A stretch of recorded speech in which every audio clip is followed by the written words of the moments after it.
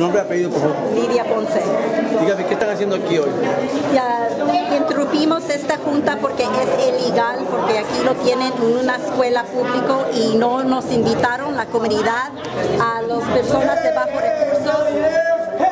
Están diciendo, pidiendo para nosotros y estamos parando esta junta porque son un montón de dueños, un montón de personas que están decidiendo qué es lo que van a construir aquí en Venice sacan a toda la gente aquí de bajos recursos, sacan a la gente, están desalojando a las personas que están retirados de sus trabajos y están desalojando a la gente sin saber sus derechos, los inquilinos.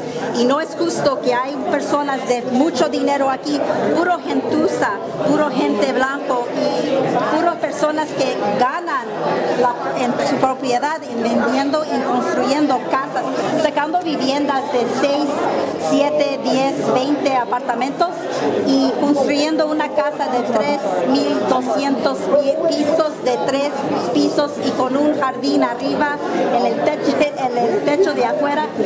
Para mí es muy feo porque la ciudad de Los Ángeles, el Planning Department y los uh, distritos de Consejo de 11, Mike Bannon, él está, hizo un, un error lo que ustedes quieren? Queremos estar sentados, invitados para todo, para todo el tiempo hasta que llegamos de acuerdo para una ordenancia, a una ley que nos pertenece, que tienen control en las viviendas, en las leyes que existen ahorita para proteger a los, a los edificios ahorita. ¿Nombre y apellido? Lidia Ponce.